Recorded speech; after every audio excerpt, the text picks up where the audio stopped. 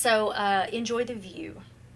Um, that was one that really did stem. Um, I love to be outdoors. I love to be outside. I love to climb a mountain. I love to do anything, you know, anything that I can be outside. I love that. And so enjoying the view is something I, I'm, I'm always into that. But in my life, um, I feel like I have always been geared toward the goal. Like, um, I'm looking at the finish line, and so I don't look at anything around me till I get to the finish line. That's how I've been my whole life. And looking back now, I don't have a lot of memories of things, especially like high school and stuff like that. That a lot of people talk about all the fun things they did. I'm like, no, I was set to come to Nashville. That's all I could think about was getting to Nashville. So I missed a lot of stuff because I was so focused on getting there.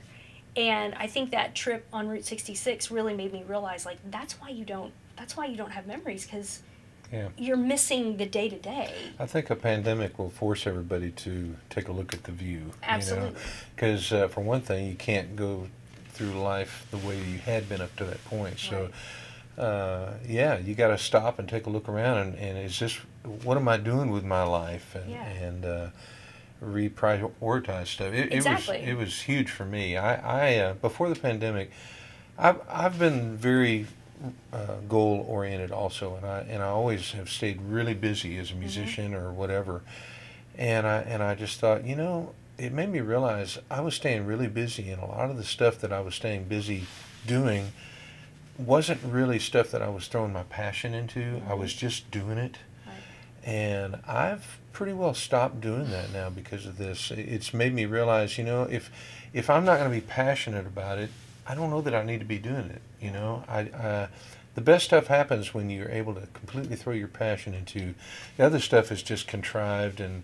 Uh, I'm just speaking musically, and uh, so I, I've been a little bit more sele- or a lot more selective about what I play on, what uh, I produce, what my name is attached to. I just want to make sure that I'm pouring my heart and soul and passion into whatever I'm involved in. Absolutely. Life's too short.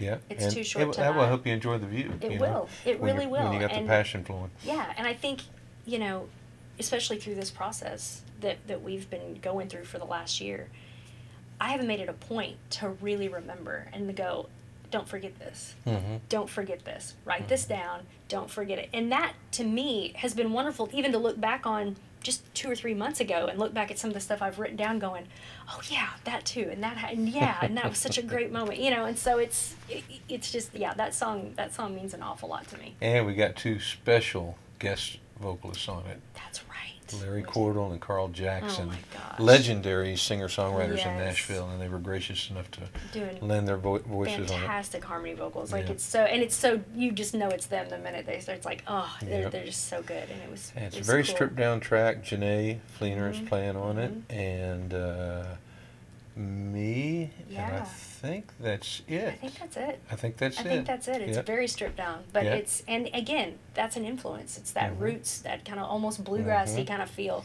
you know. And it's every song, you know, comes from something that is inspiring to me, and and the musicianship on that, and just having those guys sing, it's just it's it's fantastic.